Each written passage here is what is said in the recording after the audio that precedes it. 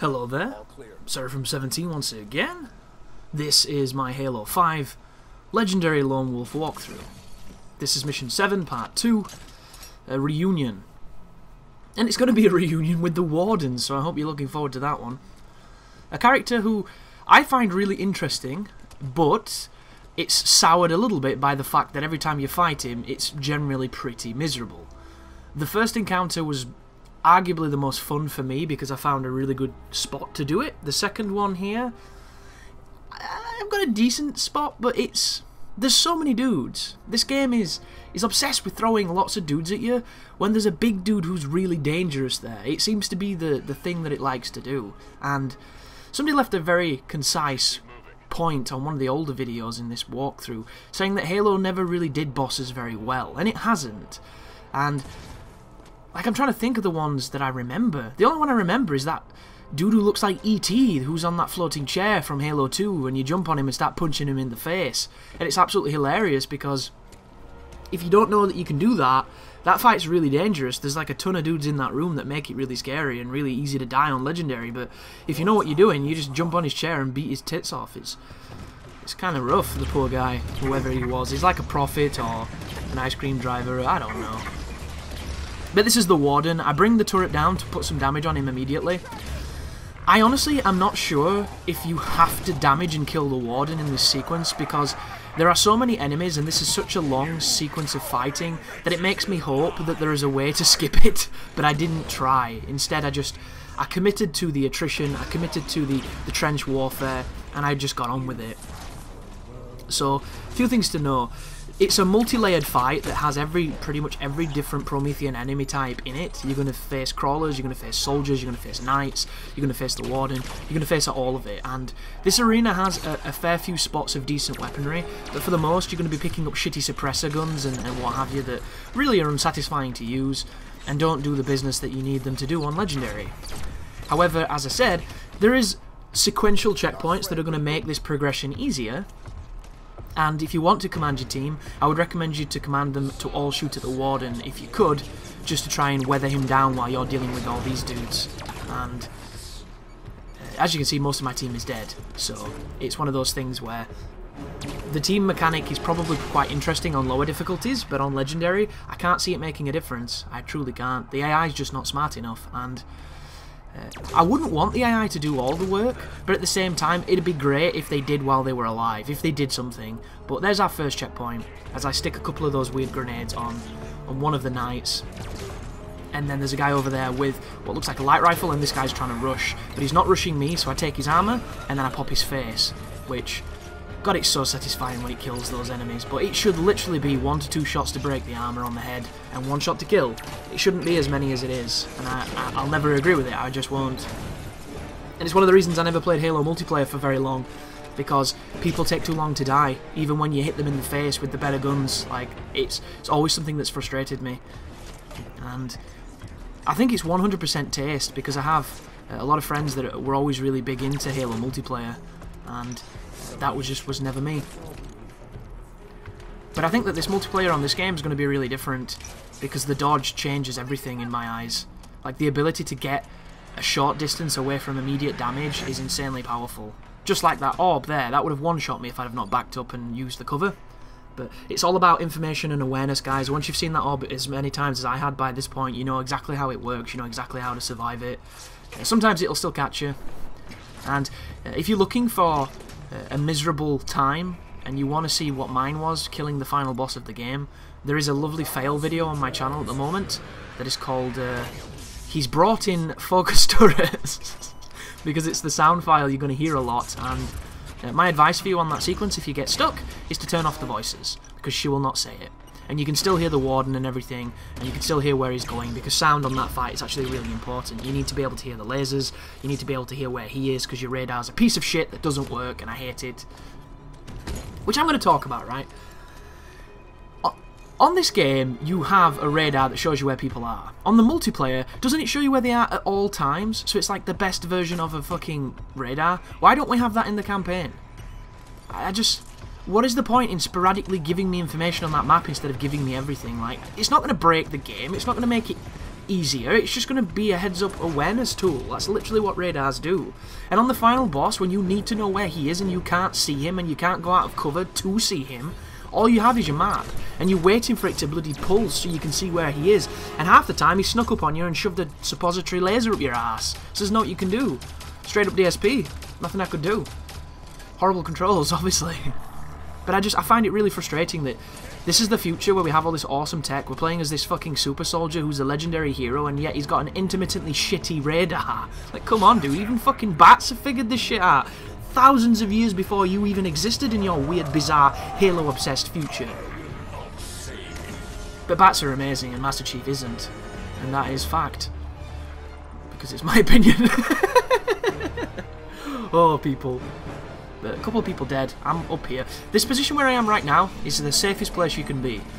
Because nothing can get close enough to do any real damage unless that very rare instance where they flank and for the most you shouldn't have any trouble here. The Warden can't seem to figure out how to get up here either, so we're going to use this spot to clip him later on. But just use your advantage of distance and your superior intellect to take out the, the AI and their habits and keep on pushing forward. And you will be getting checkpoints to make it a little bit less dense. But there was a shot that brought him to another phase. I'm just, I'm really curious how the developers expected you on your own to shoot this guy in the back. Like, he has that kind of hunter AI where he'll focus on your team a little bit, but then as soon as he tastes your delicious scent, he looks straight back at you.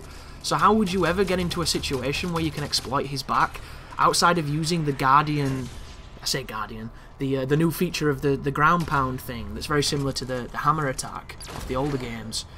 That will stun him, but it doesn't stun him long enough to do any real damage. Like, by the time you've got behind him and shot him once, you have to get away, because if you don't, he's just going to one-shot kill you with his sword. And it literally feels like one dude stuns him, and then your buddies all gangbang him with lasers and stuff. It feels like that's how they wanted it to go down. But of course, the AI are never going to gangbang anything. They just, they just aren't.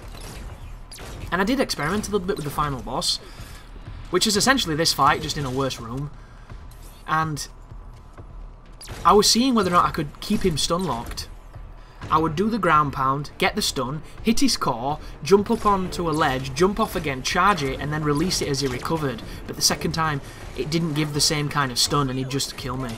So I couldn't get a sequence where I was stunning, attacking, stunning, attacking, and getting him in some kind of, you know, crazy easy loop.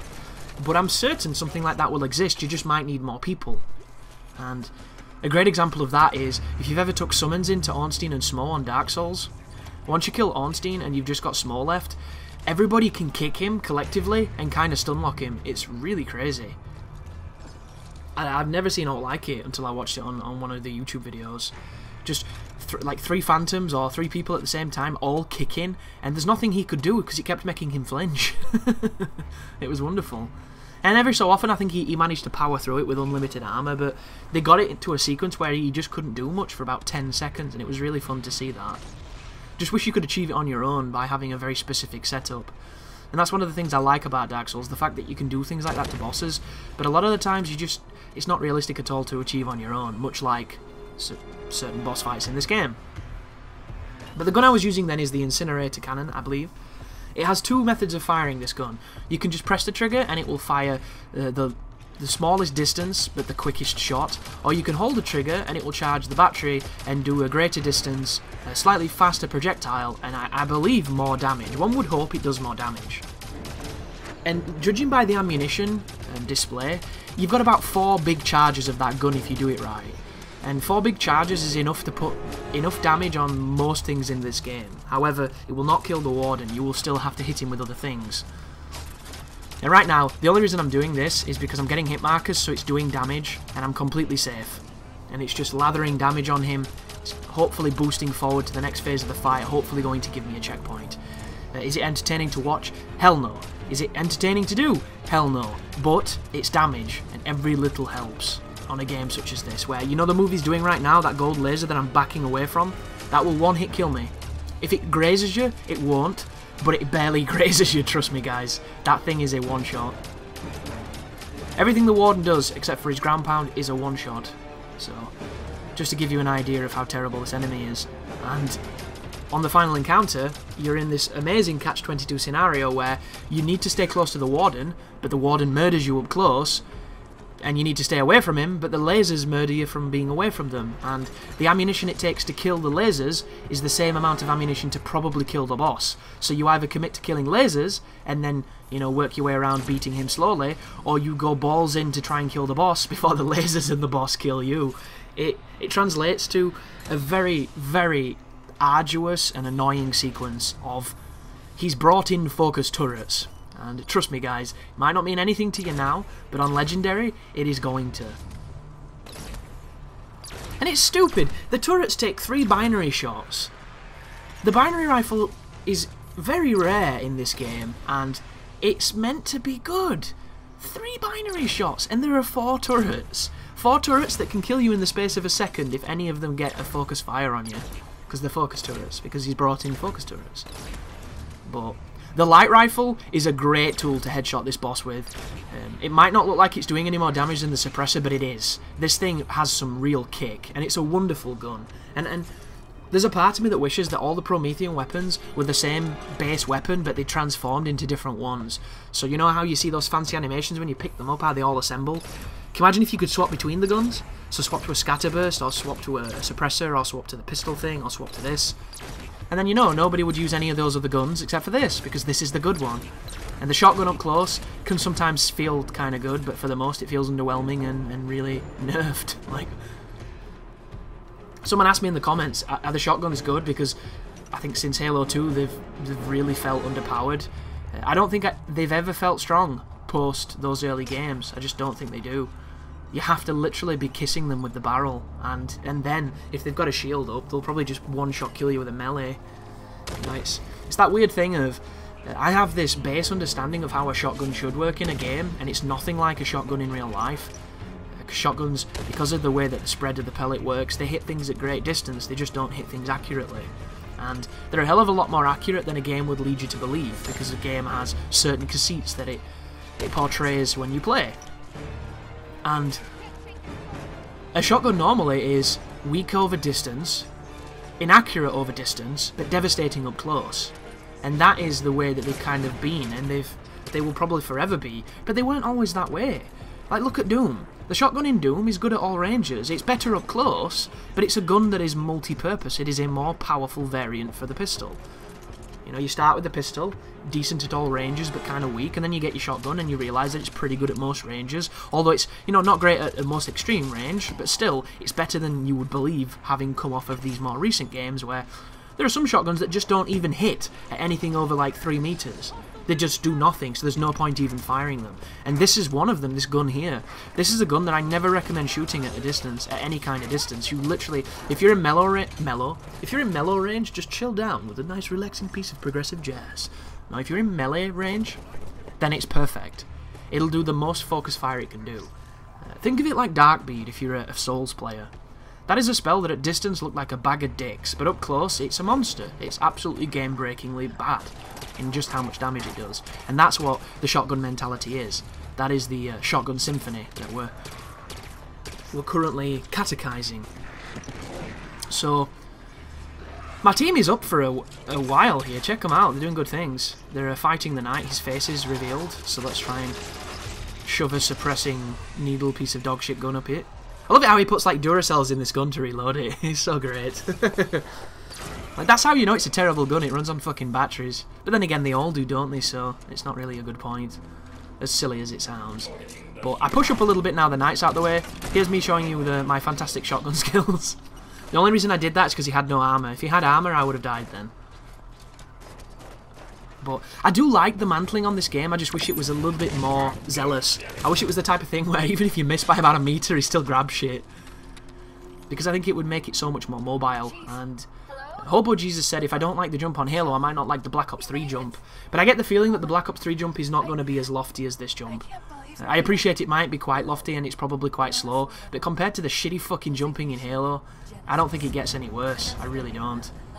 No, it does. Destiny. Destiny's got that shitty jumping. It's like a Bungie trademark. I wonder if Oni had shitty jumping. That game that nobody played. But I'm rather happy with that fight just then because the Warden never rushed us. And he can, but we managed to clip him and kill him before he even had chance to, to pull any of that bullshit, which is always fun to see. And I am rather looking forward to the new Call of Duty, although I'm not excited for it because I haven't been excited for one for a while now. I've kind of burned out on it.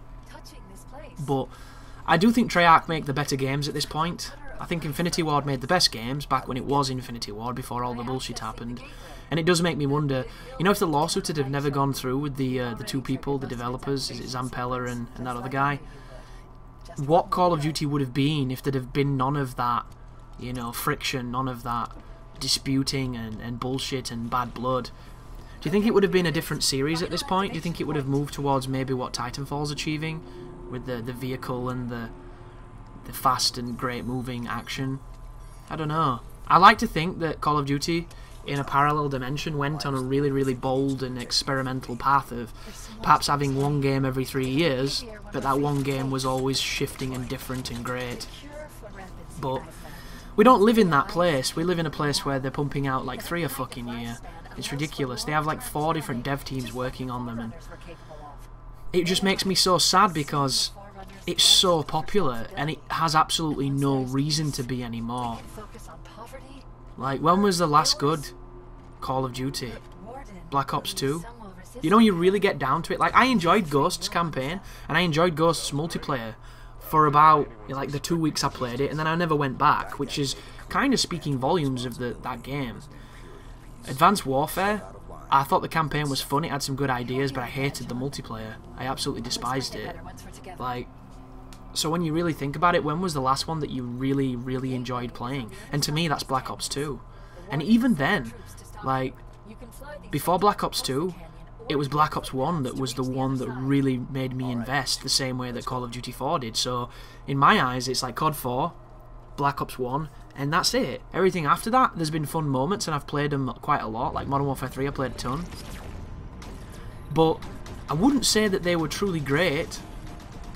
And I think Call of Duty is at that point now where I would love to see it die. I would love to see it fail, and I would love it to go back to the drawing board and we not see it for a very long time and then when we do it does something you know innovative interesting and and makes itself current and, and wanted but it's the multiplayer that there's like a generation of people that's grown up playing that multiplayer and as long as that's popular people are going to buy it like look at the fucking last gen version of Black Ops 3 no campaign and 30 frames per second how the hell can Activision release a Call of Duty that's 30 frames per second COD 2 was 60.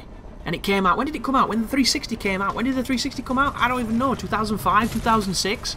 So it's been like 10 years, or something around that date, of 60 frames per second Call of Duty games. And what are we getting now? 30 frames for those poor bastards that haven't upgraded? That is just disgusting. It's the worst. But you know what? There's still some dumb bastards that'll buy it. Because people are stupid. I was on a video the other day, Digital Foundry analysing this game. The price of 60 frames per second. And they were literally being the most pedantic you can fucking be, looking at things and picking flaws. And there's nothing wrong with that because it's kind of what that video is meant to do. But half of it is the shit you don't even notice when you're playing because you're fighting and stuff shooting at you. But when you stand there and you walk forward and you see the like the differences in the shadows moving and popping in and the texture quality going between three different variants yeah, you're going to spot little inconsistencies and what have you. But at the end of the day, it runs at 60 frames per second almost exclusively the entire time you're playing and in multiplayer, which is amazing because it makes the mechanics work the best they've ever worked. And then you've got all these fucking dumb bastards like, oh, I'd have 30 seconds any day and have it not look this ugly. Because that is an uneducated, stupid person who has no idea what frame rate does for them. Like, that is the fucking person who literally wants big tits, a nice ass, blonde hair, like blowjob lips, and doesn't care about personality because they're immature and they're idiots. And that's what it is. It's the gaming equivalent of that guy who literally doesn't want a relationship because he's a human waste of space. Oh, by the way, on this sequence, it's not actually all that tricky, but you can die very fast, so just be careful. Like, I just... it really frustrates me when when people say stuff like that. These sweeping generalizations that have absolutely no idea how it makes you suffer. Like how anybody can want something to look shinier is beyond me. Like I understand it for pride reasons if you were to show it off because it probably stems from our you know animal brain when we used to peacock our tits off to try and get a mate so we could you know procreate and get some of that ass but you're not doing that with a game. It's not a pocket watch that you shine to make it look awesome when you flick it out and be like that's right I can tell the time vintage style. Because at the end of the day as long as the mechanism working the clock is working. And that's all that fucking matters. You know it's it's it's that weird mentality of people, you know. Do you want holes in your shoes, but them to be polished to a to a mirror shine, or do you not mind them to be scuffed a little bit, but to have perfect soles? I know what I want, and uh, I just, I, like I say, I struggle to understand how people can be so fucking dense. They're like planets. It's unbelievable. And it's, it's just this weird thing because, you know, if you've shadowed these people that make these stupid statements on the internet, and I make stupid statements all the time, so you can shadow me all you want, and you'll see the same kind of thing.